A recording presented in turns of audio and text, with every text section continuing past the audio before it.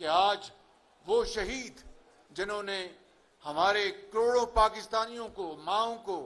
बेटों को, बेटियों को, उनकी ज़िंदगी को महफूज करने के लिए, उनको रातों को अमन की नींद मुहैया करने के लिए, उनके कारोबार को दोबारा चलाने के लिए, उनके घरों में अमन कायम करने के लिए, जिन सपूतों ने, चाहे वो फौज का जवान हो या अफसर हो, चाहे वो नेवी का जवान या अफसर हो, चाहे वो एयरफोर्स का जवान या अफसर हो, चाहे वो पुलिस के जवान हो या अफसर हो, इंतजामिया के हों, कोई डॉक्टर हो, कोई माँ, कोई बेटा, कोई बेटी, जिन्होंने डॉक्टर, इंजीनियर, जिन्होंने सियासतदान, जिन्होंने दहशत गर्दी का मुकाबला किया और शहीद हुए, आज पूरी कौम उनको सलाम करती है।